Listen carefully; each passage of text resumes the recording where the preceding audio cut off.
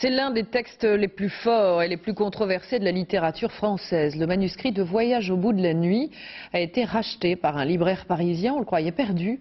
En fait, il serait resté entre les mains d'un collectionneur anglais avant d'être redécouvert.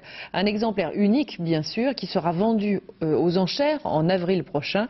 Euh, il est filmé pour la première fois par Michel Vial et Jean-Michel Mier. Dans les mains de l'expert Thierry Baudin, la première version de l'un des romans majeurs du XXe siècle. 876 feuillets écrits à l'encre bleu-noir, un manuscrit de travail abondamment raturé et retrouvé 58 ans après sa vente par Céline au marchand d'art Étienne Bignou.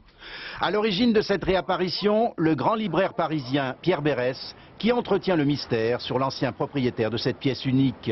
Quand des gens demandent à ne pas être nommés, je ne peux pas les nommer.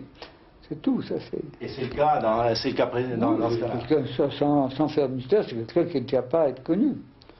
Je respecte ça. C'est une découverte formidable. Nous connaissions tous l'existence de ce manuscrit, hein, puisque Céline l'avait vendu de la manière la plus officielle, euh, mais le voilà qui, euh, qui fait surface, et c'est un, un, grand événement parce que c'est quand même le, le manuscrit le plus formidable du XXe siècle. Hein.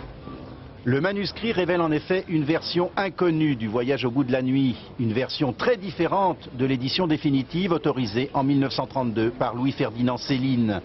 D'où l'intérêt documentaire de ce texte qui livre la première pensée de l'écrivain, déjà tout entier dans son style violent et fébrile. Euh, n'oubliez pas une chose, c'est que la inspiratrice, c'est la mort. Euh, si vous ne mettez pas votre peau sur la table, vous n'avez rien. Il faut payer.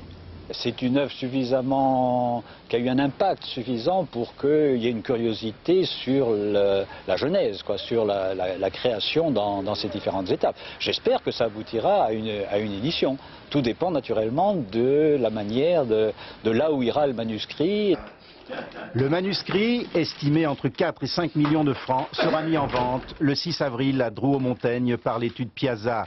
Mais tous les amateurs de littérature souhaitent que, préemptés par la Bibliothèque nationale de France, ces 876 feuillets précieux puissent demeurer dans leur pays d'origine.